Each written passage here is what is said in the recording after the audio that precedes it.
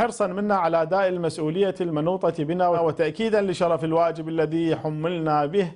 فإننا سنحرص ونبذل كل ما يجب بذله من أجل تحقيق ما يلي.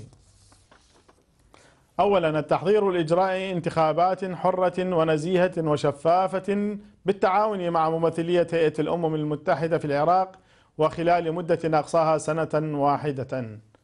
وتقديم متطلبات الدعم اللوجستي للمفوضية العليا للانتخابات وبما يضمن توفير المناخات الملائمة لإجراء الانتخابات المرتقبة. ثانيا إيلاء الجهد الأكبر لمواجهة خطر تفشي وباء كورونا وتقوية ودعم خلية الأزمة بكل مفاصلها واتباع السياقات العلمية المعمول بها حاليا في دول العالم المتقدمة. وعلى نحو طارئ لحماية شعبنا من هذا الخطر الذي يهدد اليوم العالم بأسره دعاؤنا أن يحفظ الله شعبنا وعموم المجتمع الإنساني من هذا الوباء. ثالثا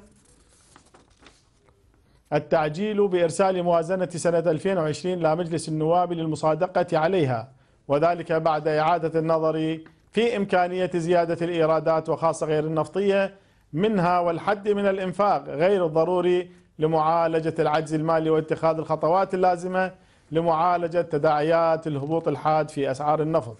رابعا العمل على حصر السلاح بيد الدولة والقضاء على كل المظاهر المسلحة وبسط سلطة الدولة وتعزيز استعادة السلم الأهلي التام والتعايش المشترك بين الجميع على اختلافهم وتنوعهم.